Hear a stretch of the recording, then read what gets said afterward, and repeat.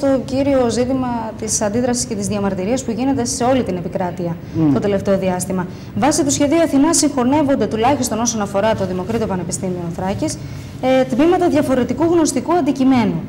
Ακριβώς. Όσο αφορά το τμήμα Ιστορίας και Εθνολογίας, ε, συγχωνεύεται με το τμήμα Γλώσσας, Φιλολογίας και Πολιτισμού Παρευξηνίων Χωρών. Είναι δύο σχολές οι οποίες έχουν τελείως διαφορετικό αντικείμενο και μιλάμε για μια σχολή, την Σχολή Ιστορίας και Εθνολογίας, η οποία έχει δύο κατευθύνσεις μέχρι τώρα, πριν το σχέδιο Αθηνά, την ιστορία και την εθνολογία. Δύο τελείως διαφορετικά αντικείμενα που τώρα επιχειρούν να τα συγχωνεύσουν σε μία συγκεκριμένη κατεύθυνση και η άλλη κατεύθυνση να είναι ιστορία και εθνολογία των παρευξηνίων χωρών. Πράγμα το οποίο είναι τελείως άσχετο με την υπάρχουσα υφή της σχολής που βρίσκεται αυτή τη στιγμή στην Κομωτινή. Και οι δύο σχολές είναι δύο υγιείς σχολές και έχουν τον απαιτούμενο αριθμό μελών ΔΕΠ. Η καινούργια σχολή βέβαια θα έχει 34 μέλη ΔΕΠ, ενώ τώρα οι δύο σχολές έχουν μέλη ΔΕΠ για να. Και οι δύο σχολές, να, να σημειώσουμε, δεν έχουν έναν ικανοποιητικό αριθμό φοιτητών, εισακτέων και αποφύτων, έτσι; Ακριβώς. Μιλάμε για ένα μεγάλο αριθμό φοιτητών που εισάγεται κάθε χρόνο γενικότερα σε όλο το Δημοκρίτιο Πανεπιστήμιο Θράκης. Μάλιστα. Ποιες θα είναι οι επιπτώσεις τόσο στους πτυχιούχους, θα ήθελα να ρωτήσω εγώ, όσο και στους ανενεργεία φοιτητές αυτή τη στιγμή στην συγκεκριμένη συγχώνευση. μπορεί... Δηλαδή, οι φοιτητές του τμήματος, οι απόφοιτοι του τμήματος ε, παρευξενίων χωρών, αυτή τη στιγμή, αν ισχύσει το σχέδιο Αθηνά, αν εφαρμοστεί, αν περάσει, αν ψηφιστεί, θα έχουν μια σχολή χωρίς αντίκρισμα. Δεν θα, μια, δεν θα υπάρχει μια ε, σχολή με το αντικείμενό τους που να τους υποστηρίζει για το πτυχίο που έχουν πάρει.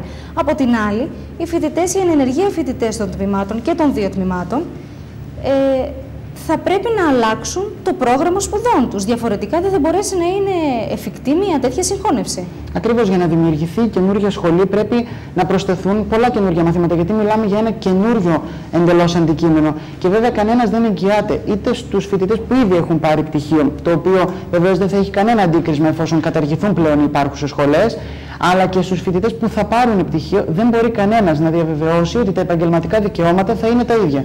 Και μιλάμε για τα επαγγελματικά δικαιώματα του Ιστορίας Τεχνολογίας που είναι το ΠΕ2, ο κλάδος των φιλολόγων. Είναι το βασικό για τον οποίο μπήκαμε όλοι σε αυτή τη σχολή. Ή τουλάχιστον οι περισσότεροι. Συνεπώς, χάνουμε αυτό το δικαίωμα. Ή... Και κανένας δεν μπορεί να διαβεβαιώσει το αντίθετο ότι δεν μπορούν να χαθούν αυτά τα επαγγελματικά δικαιώματα. Μάλιστα. Από το σύνολο των φοιτητών του Δημοκρατίου, πόσο μεγάλο είναι το ποσοστό των φοιτητών που συμμετέχει στην, ε, στις κινητοποιήσεις. Ε, αλλά θα ήθελα να ρωτήσω και κάτι ακόμα. Εάν συμμετέχει, εάν ε, έχει εκφράσει τη συμπαράστασή της η τοπική κοινωνία της Κομωτινής, αλλά και η τοπική φορείς της Κομωτινής. Η τοπική κοινωνία της Κομωτινής έχει εκφράσει ήδη τη συμπαράστασή της και ο Δήμαρχος της Κομωτινής, ο κ. Πετρίδης, και ο Σύνδεσμος Ξενοδόχων ε, νομού Ροδόπης, γνωρίζοντας βέβαια το πλήγμα που θα έχουν στις κοινωνίες αυτές λόγω της μείωσης των εισακτέων. Αν υπολογίσουμε ότι στην ε, παλιά, στην παλιά σύσταση του Δημοκρατίου σε αυτά τα πέντε τμήματα έμπαιναν περίπου, σύμφωνα με το σχέδιο Αθηνά, 751 άτομα και τώρα πλέον πολύ πιθανό να μπαίνουν κάπου στα 275. Μιλάμε για ένα πλήγμα περίπου 470 ατόμων, σύμφωνα πάντα με το σχέδιο Αθηνά. Είναι πολλά. Είναι πολλά άτομα τα οποία θα μείνουν εκτός Δημοκρατίου και το πλήγμα για την τοπική κοινωνία. Ε, ε, ήθελα να ρωτήσω τώρα, πόσες σχολές τελούν αυτή τη στιγμή υποκατάληψη; Αυτή τη στιγμή τελούν υποκατάληψη το Τμήμα Ιστορίας και Εθνολογίας σήμερα ή τις επόμενες μέρες, αν δεν κάνω λάθος, θα κάνει γενική συνέλευση το γλώσσας φιλολογίας και πολιτισμού παρευξηνίων χωρών. Το που συγχωνεύεται στο Ακριβώς. Ε, από χθες τελεί υποκατάληψη των Διεθνών Οικονομικών Σχέσεων και Ανάπτυξης, που και αυτό συγχωνεύεται με άλλα δύο τμήματα σύμφωνα με το τελικό ε, Να τα πούμε, είναι το Διοίκηση Επιχειρήσεων και Πολιτικών Επιστημών, έτσι. Ακριβώς, ναι.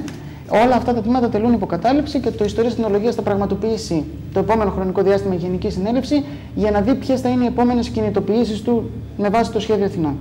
Μάλιστα.